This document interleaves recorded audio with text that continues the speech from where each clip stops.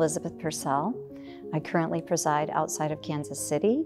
I'm getting a master's in studio art through Lindenwood Online. What's nice about Lindenwood's online program is that it lets you take baby steps and you can just fit it into your day where you can. I chose Lindenwood because I wanted to attain a master's for professional advancement, my personal practice, and also for entrepreneurial support in my art businesses.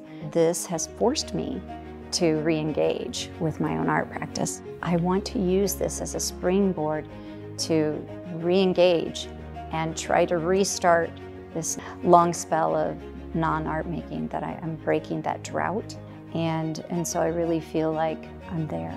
I feel like I'm on the diving board and I'm like diving in and I really, really feel hopeful and fulfilled.